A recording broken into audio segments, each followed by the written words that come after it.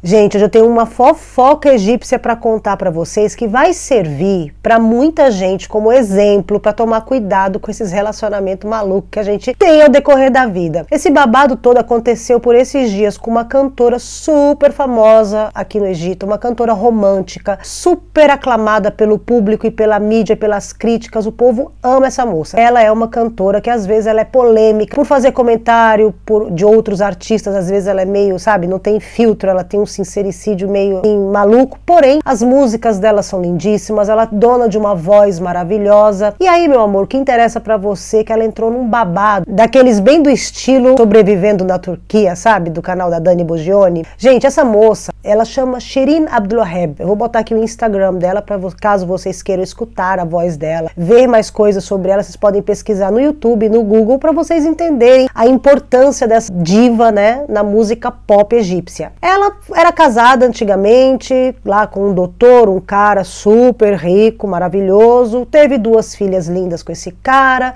tiveram um casamento feliz por alguns anos, até que o amor acabou, ela se separou dele, e aí, meu amor, ela se apaixonou por um cantor, um dito cujo chamado Hossam Habib. Esse cara, ele era um cantor pop que lá no início dos anos 2000, ali por 2004, 2005, ele fazia até um sucesso, ele teve dois ou três hits e caiu no amor ali no coração dos jovens. Porém, não propagou a carreira dele porque ele não conseguiu emplacar mais nada. Até, meu amor, que ele casou com essa garota aí, com essa mulher, né, a E aí o que aconteceu? Ela, apaixonada com todas as letras por ele, ela foi lá, colocou ele para ser empresário dela. Olha o primeiro erro, né? Botar os bofs para cuidar dos negócios. Mas enfim, empresaria ela tal. O nível social, a gente é bom falar aqui o nível social para vocês entenderem o que vai acontecer depois, tá? O nível social deles, o status social é ela muito rica e ele um rico falido, porque ele é de família boa, assim, super entre aspas, ele era de uma família ali tradicional egípcia, com estudo, com faculdade, falando vários idiomas e blá, blá, blá, blá, blá, até que ele foi entrar na música e aí fez aqueles alguns hits da vida dele, porém, ela é aquela cantora, sei lá se dá pra gente comparar, mas só em nível de fama, é amor de público, Ivete Sangalo, sabe aquela cantora que o público inteiro ama, a mídia ama, todo mundo ama, ninguém tem o que falar mal da pessoa? Pois é. Mesmo ela tendo alguns momentos ali de fazer alguns comentários sobre seus colegas de trabalho meio que ácidos. E aí, meu amor, o que, que aconteceu? Esse casamento que estava durando mais ou menos uns quatro anos, cheio de idas e vindas, né? Um dia ela vai para a internet e fala, ah, estamos nos separando. Aí ela vai e comenta lá, vai em todo que é programa de televisão e conta todos os babados que aconteceu dentro da casa dela. Ah, porque ele fez isso, porque ele fez aquilo.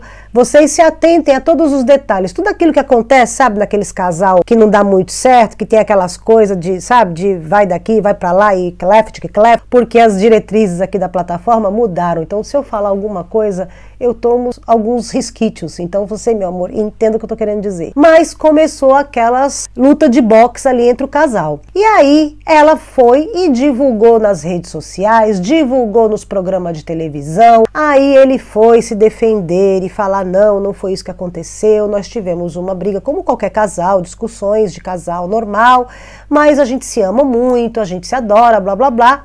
E aí, nesse meio termo, ele foi, fez as pazes com ela, e aí ela foi de novo para os veículos de televisão, foi para as redes sociais e falou: Não, eu me excedi, ele é maravilhoso, a gente se ama muito, a gente se adora. Até que vaza um áudio de uma conversa de telefone entre ela e o sogro. Aí o sogro vira para ela e fala assim: Então, o meu filho, Hossam Habib, falou para mim que você tá querendo ter um filho agora. E ela disse: É, uncle. Uncle é tio, tá? Porque aqui a gente usa, tipo assim, eu chamo meu sogro de uncle. E chamo a minha sogra de tant.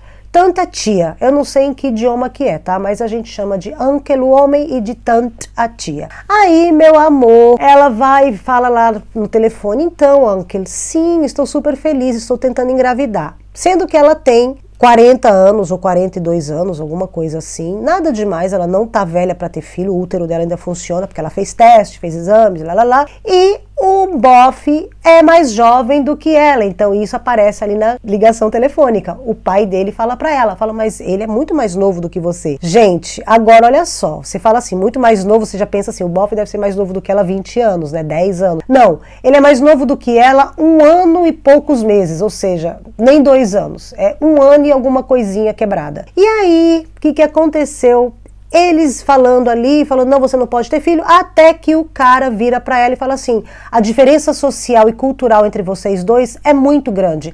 Como que vocês vão criar uma criança dentro desse abismo cultural? E aí ela chocada, começa a chorar, fala, mas eu amo muito seu filho, a gente tá junto há muitos anos, já quatro anos, eu gostaria muito de ter um filho desse, blá blá blá, tudo. Aí vaza um outro áudio entre a conversa. Quem entre quem? Entre ela e a sogra. E aí, meu amor, a sogra é sogra, né? É sogra. Ela já vira e fala assim: escuta aqui, Habibti. Habibti é meu amor. Você tá pensando o quê? Você vem da comunidade. Você é uma garota de comunidade. Assim, para falar daquele português horrível que as pessoas usavam, ela usou assim, traduzindo você, né? É uma fá. Você é da comunidade, meu filho é da alta sociedade. Meu filho estudou nas melhores escolas, meu filho fala vários idiomas, meu filho foi todo educado com uma educação inglesa barra francesa. Quem você pensa que você é? Aí ela vira e fala assim: então, eu sou uma pessoa que eu amo ele, que eu já dei várias coisas para ele, eu alavanquei a carreira dele. Gente, essa mulher, essa Shiri, ela teve a cachorra de idade presente no último aniversário dele, simplesmente um carro Mercedes último modelo. Entre viagens internacionais carésimas. E aí, meu amor, o que, que aconteceu? Este bofe simplesmente viajava com ela e brigava com ela, enchia o saco dela e fazia aquelas coisas que aquelas coisas que só a dona Penha pode resolver. Pois é. E aí, essa moça, ainda por cima, continuou tentando e ficando com este bofe até que chegamos ao momento atual, que foi quando ela teve um surto. A Shirin teve um surto ali psicótico, tadinha. E aí ela vai para as redes sociais e raspa a cabeça. E chorando, completamente descontrolada, ela chorando, falando que tá com problema e sem botar o rosto dela nas redes, né? Só a voz dela ali nas redes sociais falando, gente, estou passando por isso, estou sofrendo muito, blá blá blá. Aí ela vai fazer um show. Ela aparece simplesmente dentro de um, do Teatro Municipal do Egito, lá no Opera House, com a cabeça raspada. Falando, né? Gente, olha aqui, vocês gostaram do meu new look, do meu novo visual, com a cabeça raspada na máquina 1, ela não passou a máquina 0. Claro que as pessoas ficaram chocadas, porque assim, gente, tem uma diferença quando você é ocidental, mora na Europa, sei lá, no Brasil, nos Estados Unidos, e aí você raspa a cabeça, pode ser moda, pode ser qualquer coisa. Agora aqui no Egito, se você não está doente e raspa a cabeça, isso não confere com os padrões, né? Porque aqui as mulheres, como eu já falei até em vários vídeos aqui do canal, mulherada gosta muito de cuidar do cabelo, cuidar da aparência, e elas têm assim uma fissura, uma coisa com cabelo, sobrancelha e cílios. Então elas amam. Quem não tem cabelo, assim, cabelo que é fraquinho, cai muito, elas tá com uma peruca, mas elas gostam de ter cabelo. E aí essa moça aparece simplesmente careca. E aí falando: "Ai, olha aqui, ó, eu fiz isso para acordar da vida que eu tava, mas vamos ver, né? Quem sabe, eu passei máquina 1 dessa vez, quem sabe no próximo casamento, ela já tá contando com o próximo casamento, veja bem, passo a máquina zero. As pessoas assistindo o show riram, deram palminhas, tudo, e ela fez várias brincadeiras durante o show em relação ao corte de cabelo dela. Fez várias referências a um casamento abusivo e tudo essas coisas. E as pessoas, sim, dando risada, porque ela é muito engraçada. Foi os comentários que ela fez foram muito engraçados. Porém, as pessoas tiveram tipo um, um clique ali de alerta que ela não deveria estar tá bem. Claro que ela não deveria estar tá bem, porque não é gente, ninguém raspa a cabeça assim do nada. E um cabelo, meu amor, como vocês estão vendo aí nas imagens, um cabelo lindíssimo, sim, super aqueles cabelos que a gente almeja, né? Aqueles cabelos cheios, com bastante cabelo, sem falha. Quando aqui no Egito, por exemplo, as pessoas que usam peruca são pessoas que têm falha no cabelo, que tem algum tipo de psoríase e o cabelo cai, o cabelo que bem ralinho, né, que aparece a, a carequinha da cabeça. Então, geralmente essas mulheres, elas não raspam a cabeça, ou se raspam, elas usam uma peruca. E ela não fez isso, ela simplesmente aquele cabelo que na última aparição dela estava super tratado, comprido, cheio, ela me aparece com aquele cabelo todo cortado na máquina 1. E aí começou todo mundo falando que ah, foi foi ele que a primeira versão da mídia é que o, Hossam Habib, né, o marido dela, junto com a mãe dele, seguraram ela e rasparam a cabeça dela. E começou a propagar essa informação, essa fake news, até que ela foi para a televisão, ligou para um programa de televisão e aqui ela chocou todo mundo quando ela falou não. Ela foi no maior programa de televisão aqui do Egito por telefone, ela não foi presencialmente, mas ela falou, ela falou assim: "Eu cortei meu cabelo para ver se eu acordo um pouco do que eu estou e para ver se eu tenho a minha autoestima de volta, porque as coisas que eu estava aceitando do Hossam, do Hossam Habib lá do marido dela, né? eram absurdas. Então eu fui muito humilhada, eu sofri muito, então eu quero acordar. Eu quero ver a vida diferente, eu quero ser mais forte como mulher. Aí o cara vira e pergunta para ela: "E se ele quiser voltar com você?" Ela fala: ah, "Eu volto, eu volto." Aí, claro, o cara fica: "Como assim? O cara fez você ficar incrivelmente maluca a ponto de você cortar seu cabelo na máquina 1." E você ainda pretende voltar para ele caso ele queira? Ela falou assim: sim, se ele quiser conversar, a gente se acertar, eu super quero conversar com ele, eu, eu quero voltar porque eu amo, eu amo ele, eu sou apaixonada, eu sou louca por ele. Então o amor não tem barreiras, ela fala isso. E aí, gente, foi uma discussão, todos os youtubers falando, os canais de televisão, a mulherada, uma feminista que, egípcia que tem um canal de televisão, também um programa na televisão, foi lá e falando: você não deve se entregar para o homem desse jeito, que você não deve dar tudo pro cara, sabe? Apostar todas as suas fichas num relacionamento, porque as coisas tendem a dar uma hora ou outra. E isso, quando acontece, geralmente a corda arrebenta pro lado mais fraco, que é o lado mais apaixonado. E sim, meu amor, o que, que aconteceu?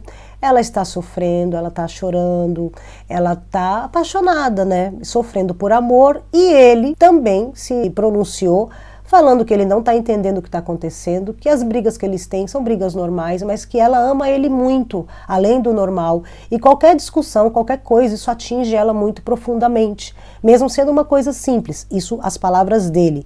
Que coisas corriqueiras de qualquer casal, para ela, são muito grandes que ela quer ter uma vida bamba, né, uma vida cor-de-rosa o tempo inteiro, e ele falou que é impossível. Ele também falou que esse negócio de não ter filho com ela, porque abismo cultural entre eles dois é muito grande, ele falou que isso é uma opinião da mãe dele, e que sim, ele respeita a opinião da mãe dele, mas que eles podem pensar mais para o futuro ter um filho, sim, mas que ele não gostaria de fazer nada que fosse contra a vontade da mãe dele, porque ele é filho único e ele nunca quer deixar a mãe dele decepcionada com nada. E aí, gente, a gente entra exatamente naquilo que a gente sempre fala aqui no canal, a Dani Bogione lá no Sobrevivendo na Turquia sempre fala.